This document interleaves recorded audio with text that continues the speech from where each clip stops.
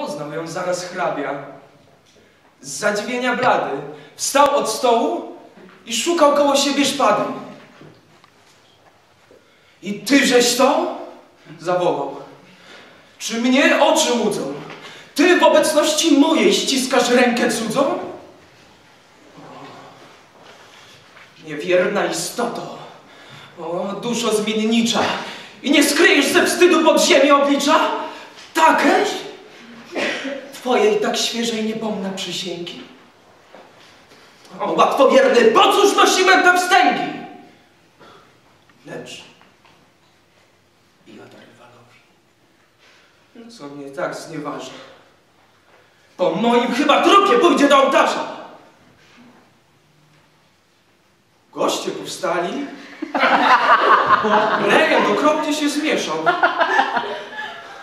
Od komorzy rywalów zagodzić pospieszał. Lecz Telimena wziąwszy hrabiego na stronę, jeszcze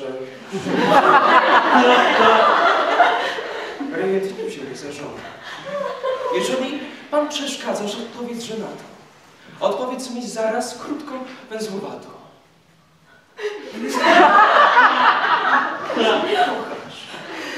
Dotąd serca nie odmienił, czyś gotów, żeby zaraz ze mną się ożenić. Zaraz, dziś. Jeśli zechcesz. Odstąpię rejenta. Hrabia rzekł. O kobieto. Dla mnie niepojęta. Dawniej w uczuciach twoich byłaś poetyczną, a teraz stajesz mi się całkiem prozaiczną. Cóż są wasze małżeństwa, jeśli nie łańcuchy, które tylko związują ręce, a nie duchy? Wierzaj, są oświadczenia, nawet bez wyznania, są obowiązki, nawet bez obowiązania. Dwa serca, pałające na dwóch końcach ziemi, rozmawiają jak gwiazdy promieniami drżącymi. Kto wie, może dlatego tak ziemia do słońca dąży i taką jest zawsze miłą dla miesiąca, że wiecznie patrzą na siebie i najkrótszą drogą zbliżają do siebie, ale zbliżyć się nie mogą. Dość już tego hrabio! Przerwała. Nie jestem planetą z łaski Bożej. Dość! Hrabio, ja jestem kobietą.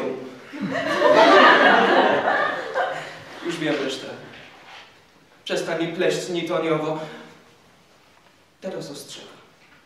Jeśli piśniesz jedno słowo, ażeby ślub mój zerwać, to jak Bóg na niebie, że z tymi paznokciami przyskoczy do ciebie i... Nie będę, rzekł hrabia. Szczęścia pani kłóci. I oczy, pełne wzgardy i smutku odwrócił. I, ażeby ukarać niewierną kochankę, przedmiot swych stałych ogniów wziął podkomorzankę.